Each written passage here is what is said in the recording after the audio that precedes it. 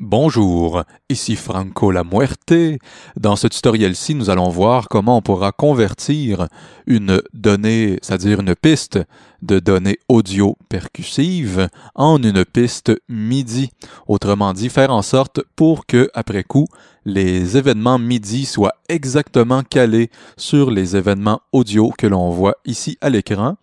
Il s'agit ici d'une prise que j'ai enregistrée avec mon djembé donc, écoutons cette sublime prise de djembé enregistrée par votre serviteur Franco La Muerte. Voilà.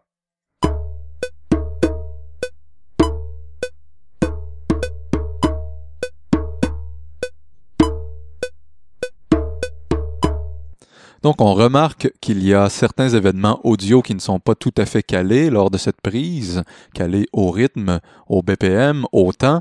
Notamment ici, on remarque au temps 2 que j'ai joué euh, le coup euh, un petit peu d'avant, en avance. De même, par exemple, au temps 3, j'ai joué l'événement un peu en retard. Eh bien, supposons que l'on désire garder euh, ces petites fluctuations lors de la prise.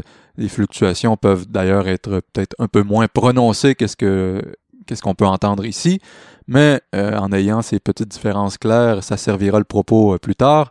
Enfin, si on désire garder euh, ces petites fluctuations-là et qu'on désire caler une piste MIDI sur ces événements audio, comment on pourra s'y prendre? Eh bien, avec notamment Recycle et Beat Creator, nous allons voir dans un premier temps comment avec Recycle on pourra procéder. Donc, je vais insérer le même sampling que j'ai enregistré ici maintenant dans, Create, dans Recycle, pardon, à la question Do you want to move the left locator to the first slice point? Je réponds non. Voilà. Et maintenant, ben, il suffit simplement de découper en différentes slices euh, les événements audio de ma prise avec le petit bouton Sense. Enfin, je détaillerai pas ici toutes les fonctions de Recycle. Je l'ai déjà fait dans un précédent tuto. Je vous en remets, je vous en remets à ce tutoriel si vous ne savez pas comment utiliser Recycle. Donc voilà, mes slices sont découpées. Il suffit d'entrer le nombre de barres. Donc, dans, dans, dans, dans, cette prise, il y en a quatre. Et il suffit ensuite, une fois que tous les samplings sont bien découpés, d'aller dans File, Export et d'indiquer que l'exportation se fasse en point .mid, donc une, piste MIDI. Donc euh, voilà, je vais l'appeler euh, MIDI, MIDI dis-je, MIDI euh, Recycle, par contraste à MIDI Beat Creator qu'on verra plus tard. Donc voilà, je sauvegarde cette prise. Je retourne à Cubase et je vais insérer, importer mon fichier MIDI, donc importer fichier MIDI. Et je vais aller le chercher, midi-recycle.mid. Je vais l'ouvrir pour qu'on puisse bien voir. Euh, ici, donc éditer sur place très pratique avec Cubase. Donc, on voit la piste MIDI directement dans le séquenceur.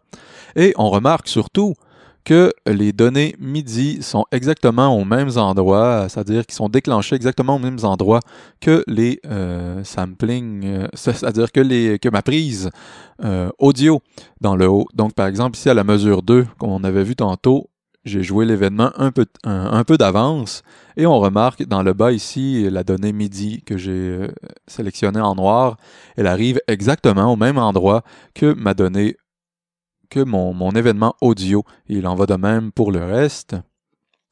On remarque que Recycle, lors de son exportation MIDI, euh, a euh, mis toutes les données MIDI une à la suite des autres sur différentes notes du clavier. Pour arranger ça, il suffit simplement de sélectionner toutes les notes MIDI et dans le, menu MIDI d'aller ici dans Transposer. Et euh, ici au centre, il suffit de, cocher euh, l'option Garder les notes dans l'intervalle et il faut choisir justement cet intervalle la limite haute va être ici située sur C1 et la limite basse sur C1. Autrement dit, toutes les notes, toutes les données MIDI vont aller se positionner sur la note C1. Voilà. Et voilà, c'est magique. On a maintenant nos données MIDI exactement aux mêmes endroits que les données audio. Et surtout, ben, on peut utiliser par exemple un sampler euh, comme l'échantillonneur euh, Battery de Native Instrument afin d'aller déclencher par un, en l'occurrence ici un bass drum, nos données MIDI qui seront euh, calées sur nos événements audio, donc soit le djembé. Donc écoutons